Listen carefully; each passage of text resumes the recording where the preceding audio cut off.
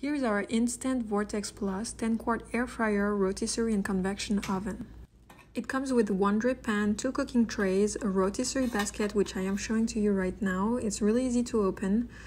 Uh, and then you have also a rotisserie fetch tool, a rotisserie spit and forks.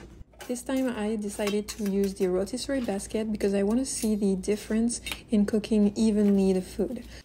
I'm gonna make chicken nuggets and tater tots and see how they are going to cook in the rotisserie basket and see how even the cook is. You are going to make sure that you put it in the left side first and then you are going to hook it on the right side. You make sure that it is securely attached and it will be ready for cooking. So let's close the oven and see how we are going to make this spin.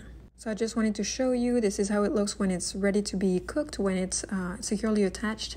And this is how my uh, tater tots and chicken nuggets look before I cook them. So here's the one touch cooking programs with the temperature. You have air fry, roast, broil, bake, preheat, dehydrate, rotate, light, and then you have cancel and start once you pressed one uh, option.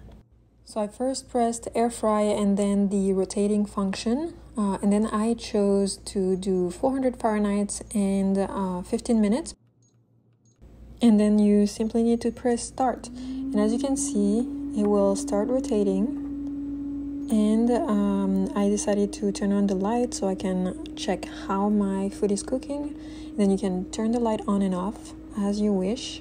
And the only thing I forgot to do and I wish I had done is to put the drip pan on the bottom because it puts some uh, crumbs and there's actually an easy preheating function which is going to tell you when to put your food in the oven. I did not use it this time and so that's why my food is ready actually 4 minutes before the end of the timer. And here is how it looks. Look at how golden the chicken nuggets and tater tots are. So let's put it in the plate and show you.